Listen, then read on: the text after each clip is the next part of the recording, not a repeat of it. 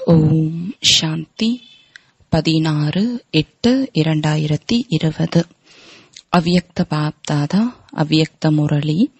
திருப்புதல் தேதி ஏழு மூன்று ஆயிரத்தி தொள்ளாயிரத்தி எண்பத்தி ஆறு. படிப்பின் நான்கு பாடங்களின் யதார்த்த நினைவு சின்னம் மகா சிவராத்திரி. இன்று ஞானம் கொடுக்கும் வள்ளல் பாக்கியத்தை வழங்கும் வள்ளல் அனைத்து சக்திகளின் வரங்களை வழங்கக்கூடியவர் அனைத்து பொக்கிஷங்களையும் நிரப்பக்கூடிய கள்ளம் கபடமற்ற தந்தை தனது மிக அன்பான சகயோகி நெருங்கிய குழந்தைகளை சந்திப்பதற்கு வந்திருக்கிறார். இந்த சந்திப்பானது சதா காலம் உற்சவம் கொண்டாடுவதற்கான நினைவு சின்னமாக ஆகிவிடுகிறது. விதவிதமான பெயர்களுடன் காலத்திற்கு ஏற்றாற்போல கொண்டாடப்படும் விழாக்கள் அனைத்தும் இந்த நேரத்தில் தந்தை மற்றும் குழந்தைகளின் இனிய சந்திப்பு உற்சாகம் நிறைந்த சந்திப்பு எதிர்காலத்தில் உற்சவ ரூபமாக ஆகிவிடுகிறது. இந்த நேரத்தில் சர்வசிரேஷ்ட குழந்தைகளின் ஒவ்வொரு நாள் ஒவ்வொரு நேரம் எப்பொழுதும் மகிழ்ச்சியுடன் இருக்கக்கூடிய நாட்களாகும் அல்லது நேரம் ஆகும். எனவே இந்த சிறிய சங்கம யுகத்தின் அலௌகீக வாழ்க்கை அலௌகீக பிராப்திகள் அலௌகீக அனுபவங்களை துவாபர யுகத்திலிருந்து பக்தர்கள் விதவிதமான பெயரில் நினைவு சின்னங்களாக ஆக்கிவிட்டார்கள். உங்களது இந்த ஒரு பிறவியின் வாழ்க்கை பக்தியின் அறுபத்தி மூன்று பிறவிகளுக்கு நினைவிற்கான சாதனமாக ஆகிவிடுகிறது. அந்த அளவிற்கு மகான் ஆத்மாக்களாக இருக்கிறீர்கள். இந்த நேரத்தில் மிகவும் ஆச்சரியமான விஷயம் ஒன்றை பார்த்து கொண்டு இருக்கிறார். அதாவது நடைமுறையில் கொண்டாடிக்கொண்டு இருக்கிறீர்கள் மற்றும் அந்த நினைவு சின்னத்தையும் கொண்டாடிக்கொண்டு இருக்கிறீர்கள். சைத்தன்யமாகவும் இருக்கிறீர்கள் மற்றும் அந்த சிலையும் கூடவே இருக்கிறது. ஐயாயிரம் ஆண்டுகளுக்கு முன்பு ஒவ்வொருவரும் என்னென்ன பிராப்திகளை அடைந்து இருந்தீர்கள்? என்ன ஆகியிருந்தீர்கள்? எப்படி ஆனீர்கள்? என்ற இந்த ஐயாயிரம் ஆண்டிற்கான தனது முழு நினைவு சின்னம் மற்றும் ஜாதகத்தை அனைவரும் தெளிவான ரூபத்தில் அறிந்து கொண்டீர்கள் கேட்டுக்கொண்டு இருக்கிறீர்கள். மற்றும் பார்த்து பார்த்து மகிழ்ச்சி அடைந்து கொண்டு இருக்கிறீர்கள். இது நமக்கான மகிமை பூஜையாகும். நமது வாழ்க்கை கதையை வர்ணித்து கொண்டு இருக்கின்றனர். நமது ஒரிஜினல் சிலையை வடிவமைக்க முடியாது. எனவே பாவனையின் ஆதாரத்தில் எது தோணுகின்றதோ அதை சிலையாக வடிவமைத்து விட்டனர். ஆக நடைமுறையில் தினமும் சிவ ஜெயந்தி கொண்டாடிக் கொண்டு இருக்கின்றீர்கள். ஏனென்றால் சங்கம யுகம் என்றாலே அவதார யுகமாகும். உன்னதமான காரியம் உன்னதமான சரித்திரத்திற்கான யுகமாகும். ஆனால் எல்லையற்ற யுகங்களின் இடையில் இந்த நினைவு சின்னத்தின் நாளை கொண்டாடிக் கொண்டு இருக்கிறீர்கள். நீங்கள் அனைவரும் கொண்டாடுவது என்பது சந்திப்பு செய்வதாகும். அவர்கள் கொண்டாடுவது என்பது கடவுளை அழைப்பதாகும். அவர்களுடையது அழைப்பது உங்களுடையது அடைவது. வாருங்கள் என்று அவர்கள் கூறுவார்கள். மற்றும் நீங்கள் வந்துவிட்டார் அடைந்து விட்டோம் என்று கூறுவீர்கள். நினைவு சின்னத்திற்கும் நடைமுறைக்கும் இரவு பகல் வித்தியாசம் இருக்கிறது. உண்மையில் இந்த நாள் கள்ளம் கபடமற்ற தந்தையின் நாளாகும். கள்ளம் கபடமற்றவர் என்றால் கணக்கின்றி அளவின்றி கொடுக்கக்கூடியவர். பொதுவாக எவ்வளவு அவ்வளவு என்ற கணக்கு இருக்கும். யார் செய்வார்களோ அவர்கள் அடைவார்கள். அவ்வளவுதான் அடைவார்கள். இந்த கணக்கு இருக்கிறது. ஆனால் கள்ளம் கபடமற்றவர் என்ன கூறுகிறார்? ஏனென்றால் இந்த நேரத்தில் கொடுப்பதில் எவ்வளவு அவ்வளவு என்ற கணக்கு வைப்பது கிடையாது. ஒன்றுக்கு பல மடங்கு கணக்கு இருக்கிறது. ஆக அளவற்றதாக ஆகிவிடுகிறது அல்லவா? ஒன்று எங்கு இருக்கிறது? பல மடங்கு எங்கு இருக்கிறது? பல மடங்கு என்பது கடைசி வார்த்தை ஆகும் அதனால்தான் பல மடங்கு என்று கூறுகின்றார். அளவிட முடியாத அளவிற்கு கொடுப்பவர் கள்ளம் கபடமற்றவர் அவரது நாளை நினைவு சின்னமாக கொண்டாடுகின்றனர். உங்களுக்கு அந்த அளவிற்கு கிடைக்கிறது. அதாவது இப்போதும் நிறைந்திருக்கிறீர்கள். மேலும் இருபத்தியோரு பிறவிகள் இருபத்தியோரு வம்சத்தினர்களும் நிறைந்து இருப்பீர்கள். இவ்வளவு பிறவிகளுக்கு வேறு யாரும் உத்திரவாதம் கொடுக்க இயலாது. ஒருவர் எவ்வளவுதான் மிகப்பெரிய வள்ளலாக இருந்தாலும் பல பிறவிகளுக்கு நிறைந்த களஞ்சியத்திற்கான உத்திரவாதம் யாரும் கொடுக்க இயலாது. ஆக கள்ளம் கபடமற்றவர் ஆகிவிடுகிறார் அல்லவா? ஞானம் நிறைந்தவராக இருந்தாலும் கூட கள்ளம் கபடமற்றவர் ஆகின்றார். அதனால்தான் கள்ளம் கபடமற்றவர் என்று கூறப்படுகிறார். கணக்கு பார்க்க வேண்டும் என்றால் ஒவ்வொரு சங்கல்பத்திற்கான கணக்கையும் அறிந்து கொள்ள இயலும். ஆனால் அறிந்திருந்தாலும் கொடுப்பதில் கள்ளம் கபடமற்றவர் ஆகிவிடுகிறார். ஆக நீங்கள் அனைவரும் கள்ளம் கபடமற்ற தந்தையின் கள்ளம் கபடமற்ற குழந்தைகள் அல்லவா? ஒரு புறம் கள்ளம் கபடமற்றவர் என்று கூறுகிறோம். மற்றொரு புறம் நிறைந்த களஞ்சியம் உடையவர்கள் என்று கூறுகிறோம். நினைவு சின்னத்தையும் பாருங்கள். எவ்வளவு நன்றாக கொண்டாடுகின்றனர். கொண்டாடுபவர்களுக்கு தெரியாது. ஆனால் நீங்கள் அறிவீர்கள். இந்த சங்கமயுக படிப்பின் முக்கிய பாடங்கள் நான்கு. இந்த நான்கு பாடங்களும் நினைவு சின்னத்திற்கான நாளில் கொண்டாடி வருகின்றனர். எப்படி? முன்பும் கூறியிருந்தேன் இந்த உற்சவ தினத்தில் பிந்து மற்றும் துளியின் மகத்துவம் இருக்கும். பிந்து என்றால் இந்த நேரத்திற்கான நினைவு. அதாவது யோக பாடத்தின் அடையாளமாகும். நினைவின் பொழுது பிந்து ஸ்திதியில்தான் நிலைத்திருக்கிறீர்கள் அல்லவா? ஆக பிந்து என்பது நினைவின் அடையாளமாகும். மேலும் துளி என்றால் ஞானத்தின் விதவிதமான துளிகளாகும். இது ஞான பாடத்தின் அடையாளமாக துளியை காண்பித்திருக்கின்றனர். தாரணையின் அடையாளமாக இதே நாளில் சிறப்பான விரதம் இருப்பர். ஆக விரதத்தை கடைபிடிக்கின்றனர். தாரணையிலும் நீங்கள் திட சங்கல்பம் செய்கிறீர்கள். பொறுமையாக அல்லது உள்நோக்கு முகமாக அவசியம் இருந்து காண்பிப்பேன் என்று விரதம் கடைபிடிக்கிறீர்கள். ஆக இவ்வாறு விரதம் கடைபிடிக்கிறீர்கள் அல்லவா? இந்த விரதம் தாரணையின் அடையாளமாகும்.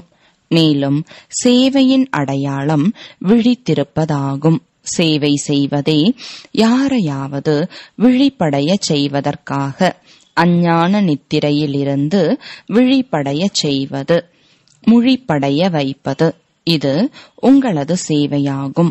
ஆக இவ்வாறு விழித்திருப்பது சேவையின் அடையாளமாகும். ஆக இந்த நான்கு பாடங்களும் வந்துவிட்டது அல்லவா ஆனால் அவர்கள் ரூபத்தை ஸ்தூல ரூபமாக மாற்றிவிட்டனர்.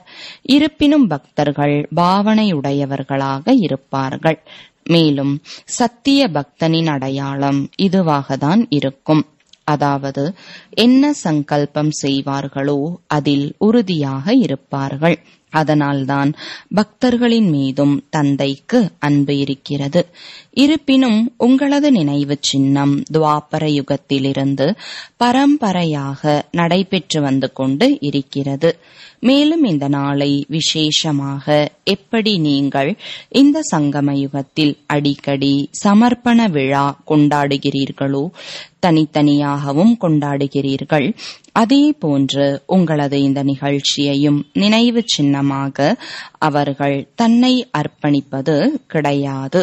ஆனால் ஆடை பலியாக கொடுக்கின்றனர்.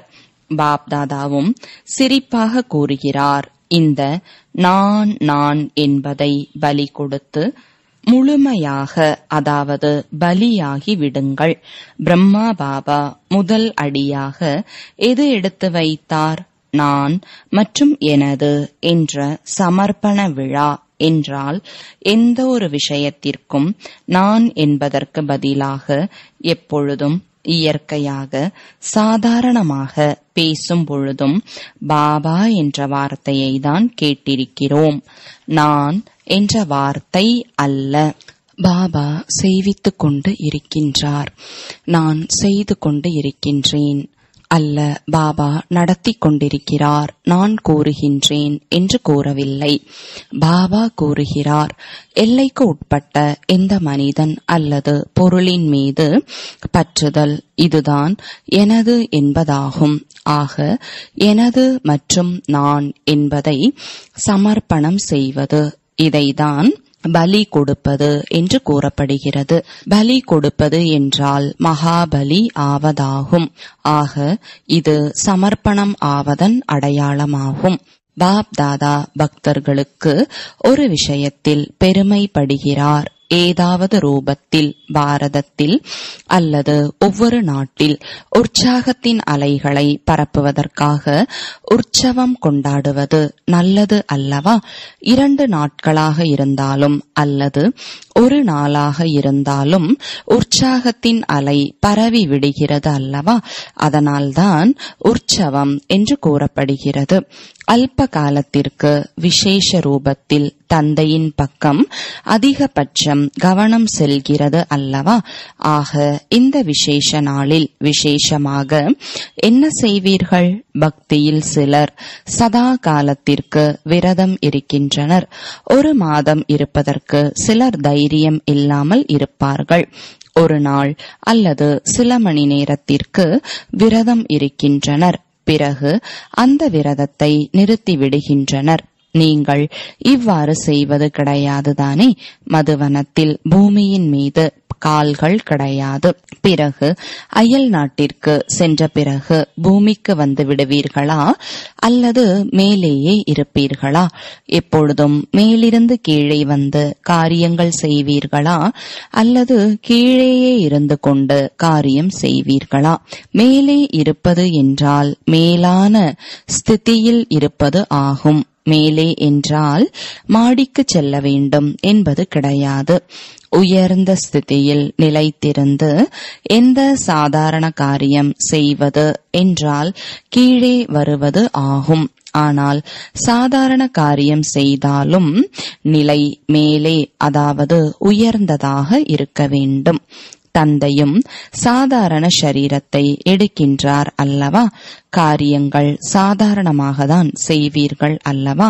நீங்கள் எப்படி பேசுகிறீர்களோ அப்படிதான் பேசுவார் அப்படிதான் நடப்பார். ஆக காரியங்கள் சாதாரணமாக இருக்கிறது உடலும் சாதாரணமாக இருக்கிறது. ஆனால் சாதாரண காரியங்கள் செய்தாலும் நிலை உயர்ந்ததாக இருக்கிறது. இவ்வாறு உங்களது நிலை எப்பொழுதும் உயர்வாக இருக்க வேண்டும். இந்த நாளை அவதார நாள் என்று கூறுவது போல அமிர்த வேளையில் தூக்கத்தில் இருந்து அல்ல சாந்தி தாமத்திலிருந்து காரியம் செய்வதற்காக அவதாரம் எடுத்திருக்கின்றேன் என்று நினையுங்கள். மேலும் இரவு காரியங்கள் செய்து முடித்துவிட்டு சாந்தி தாமத்திற்கு சென்றுவிடுங்கள் ஆக உயர்ந்த காரியங்கள் செய்வதற்காக தான் அவதாரங்கள் அவதாரம் எடுப்பர். அதை பிறப்பு என்று கூறுவது கிடையாது. அவதாரம் என்று கூறுவர். உயர்ந்த ஸ்திதியில் இருந்து கொண்டு கீழே வருவர். இதுதான் அவதாரமாகும். ஆக இப்படிப்பட்ட ஸ்திதியிலிருந்து காரியங்கள் செய்வதன் மூலம் சாதாரண காரியங்களும் அலௌகீக காரியமாக மாறிவிடும். மற்றவர்களும் உணவு சாப்பிடுகின்றனர். பிரம்மா போஜனம் சாப்பிடுகிறோம் என்று நீங்கள் கூறுகிறீர்கள். வித்தியாசம் இருக்கிறது அல்லவா? நடக்கிறீர்கள். ஆனால் நீங்கள் ஃபரிஷ்தாக்களைப் போல நடக்கிறீர்கள். Double light ஸ்திதியிலிருந்து நடக்கிறீர்கள். ஆக அலௌகீக நடத்தை அலௌகீக காரியமாக ஆகிவிடுகிறது. எனவே இன்றைய நாள் மட்டும் அவதார நாள் கிடையாது. சங்கம யுகமே அவதார நாள் ஆகும். இன்றைய நாள் நீங்கள் பாப்தாதாவிற்கு வாழ்த்துக்கள் கொடுக்கிறீர்கள். ஆனால் பாப்தாதா கூறுகின்றார் முதலில் நீங்கள்.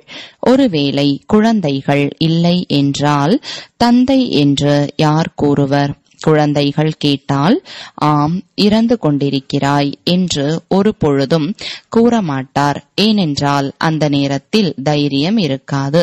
ஒருவரது உள்ளம் பலவீனமாக இருக்கிறது என்றால் நீங்கள் அவரிடம் ஏதாவது விஷயத்தை கூறிவிட்டால் அவரது இருதயம் நின்றுவிடும்.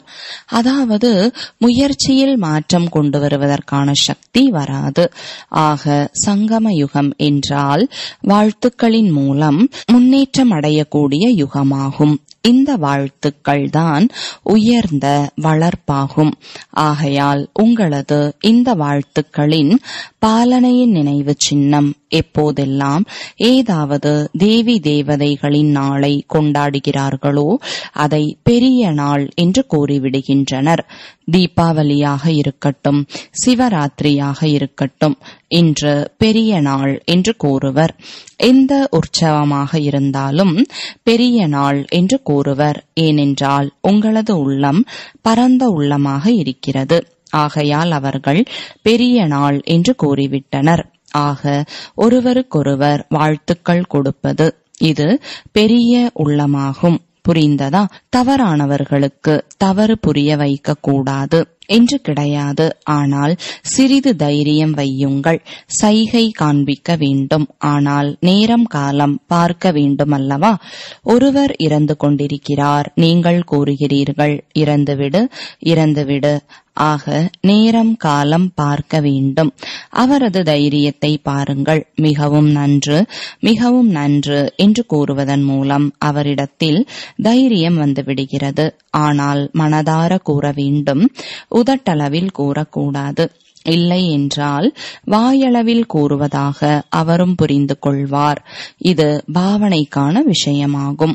உள்ளத்தின் உணர்வுகளில் கருணை இருக்கும் பொழுது அவரது உள்ளத்தில் கருணை உணர்வு ஏற்படும். ஆகையால் எப்பொழுதும் வாழ்த்துக்களை கொடுத்து கொண்டே இருங்கள். வாழ்த்துக்களை அடைந்து கொண்டே இருங்கள். இந்த வாழ்த்துக்கள் வரதானமாகும். இன்றைய நாளை சிவனின் களஞ்சியம் நிறைந்திருக்கிறது என்று புகழ் பாடுகின்றனர். ஆக தந்தையின் மகிமை மட்டும் கிடையாது உங்களது மகிமையும் ஆகும். எப்பொழுதும் களஞ்சியம் நிறைந்திருக்க வேண்டும். வள்ளலின் குழந்தைகள் வள்ளலாக ஆகிவிடுங்கள். பக்தர்கள் பெறுபவர்கள். நீங்கள் கொடுக்கக்கூடிய தேவதைகள். ஆக வள்ளல் என்றால் கொடுக்கக்கூடியவர்கள். ஒருவருக்கு ஏதாவது கொடுத்துவிட்டு பிறகு நீங்கள் அவரிடமிருந்து ஏதாவது எடுத்துக்கொண்டால் அவருக்கு தவறான உணர்வு வராது. பிறகு அவரை எப்படி வேண்டுமென்றாலும் ஆக்கிவிட முடியும். ஆனால் முதலில் அவருக்கு கொடுக்க வேண்டும். தைரியம் கொடுங்கள் ஆர்வம் கொடுங்கள் மகிழ்ச்சி கொடுங்கள். பிறகு அவரை எப்படி மாற்ற விரும்புகிறீர்களோ மாற்றிவிட முடியும். தினமும் உற்சவம் கொண்டாடிக்கொண்டே இருங்கள். தினமும் தந்தையுடன் சந்திப்பு கொண்டாடுவது இதுதான் உற்சவம் கொண்டாடுவதாகும். ஆக தினமும் உற்சவம் ஆகும். நல்லது நாலாபுறங்களிலும் உள்ள குழந்தைகளுக்கு சங்கம யுகத்தின் ஒவ்வொரு நாளும் அவதரித்துள்ள நாளுக்கான அழிவற்ற வாழ்த்துக்கள் உரித்தாகுக. எப்பொழுதும் தந்தைக்கு சமமான வள்ளல் மற்றும் வரங்களை வழங்கும் வள்ளல் ஆகி ஒவ்வொரு ஆத்மாவையும் நிறைக்கக்கூடிய மாஸ்டர் கள்ளம் கபடமற்ற குழந்தைகளுக்கு எப்பொழுதும் நினைவில் இருந்து ஒவ்வொரு காரியத்தையும் நினைவு சின்னமாக ஆக்கக்கூடிய குழந்தைகளுக்கு எப்பொழுதும் சுய முன்னேற்றம் மற்றும் சேவையின் முன்னேற்றத்தில் ஆர்வம் உற்சாகத்துடன் முன்னேறக்கூடிய உயர்ந்த குழந்தைகளுக்கு விசேஷமாக இன்றைய நினைவு சின்ன நாளாகிய சிவ ஜெயந்தி மற்றும் பிராமண ஜெயந்தி வைரத்திற்கு சமமான ஜெயந்தி. எப்பொழுதும் அனைவரையும் சுகமானவர்களாக ஆக்கக்கூடிய நிறைந்தவராக்கக்கூடிய ஜெயந்தியின் வாழ்த்துக்கள் மற்றும் அன்பு நினைவுகள் மற்றும் வணக்கங்கள். ஆன்மீக தந்தைக்கு ஆன்மீக குழந்தைகளின் அன்பு நினைவுகளும் வணக்கங்களும். வரதானம். ஒவ்வொரு சக்தியையும் கட்டளைப்படி நடத்தக்கூடிய மாஸ்டர் படைப்பவர் ஆகுக. விளக்கம். காரியம் ஆரம்பிக்கும் முன் காரியத்திற்கு தகுந்தாற் போல சக்திகளை அழையுங்கள். எஜமானர்களாகி கட்டளையிடுங்கள் ஏனென்றால் இந்த சர்வ சக்திகள் உங்களது புஜங்கள் போன்றது. உங்களது புஜங்கள் உங்களது கட்டளை இல்லாமல் ஒன்றும் செய்ய இயலாது. பொறுமை சக்தியே காரியத்தை வெற்றியாக்கு என்று கட்டளையிடுங்கள் பிறகு பாருங்கள் வெற்றி கிடைத்திருக்கும். ஆனால் கட்டளையிடுவதற்கு பதிலாக பயப்படுகிறீர்கள். செய்ய முடியுமா? முடியாதா? இந்த மாதிரியான பயம் இருந்தால் கட்டளையிட முடியாது. ஆகையால் மாஸ்டர் படைப்பவர் ஆகி ஒவ்வொரு சக்தியையும் கட்டளைப்படி நடத்துவதற்கு பயமற்றவர்களாக ஆகுங்கள். ஸ்லோகன் உதவி செய்யும் வள்ளலாகிய தந்தையை வெளிப்படுத்தி அனைவரையும் அக்கறைக்கு கொண்டு செல்லுங்கள். ஓம் சாந்தி.